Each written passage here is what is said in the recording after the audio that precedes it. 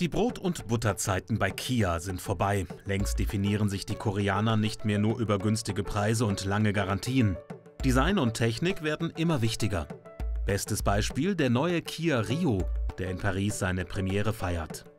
Ab Anfang 2017 soll die vierte Generation des Polo-Konkurrenten den Kleinwagenmarkt aufmischen.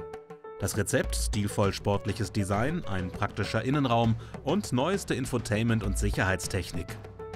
So ist der Rio gegen Aufpreis mit einem Notbremsassistenten samt Fußgängererkennung zu haben. Premiere in diesem Segment. Die Motorenpalette ist mit vier Benzinern und zwei Dieselmotoren gut bestückt. Besonders die neuen Dreizylinder-Turbobenziner mit 100 und 120 PS sollen Sprit sparen und Marktanteile sichern.